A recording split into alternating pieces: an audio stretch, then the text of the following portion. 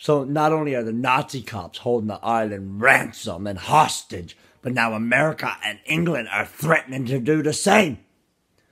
Give me my goddamn subpoena. Show the fucking world that you appreciate a new form of law and order.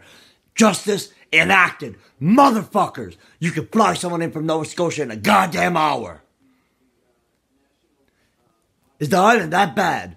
You can't get a goddamn judge to deliver a piece of fucking paper. Don't give me no shit about that's not how the law is fucking act- enacted and performed because you're goddamn Nazis and we know about your fucking system. Rat on your own men. You're fucked. You can literally fax that to fucking BGR. You can fax it to my goddamn neighbor. It doesn't have to be a fucking cop.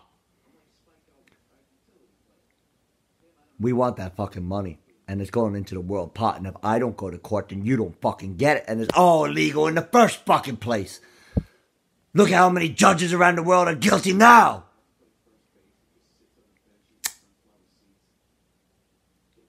They all want that money.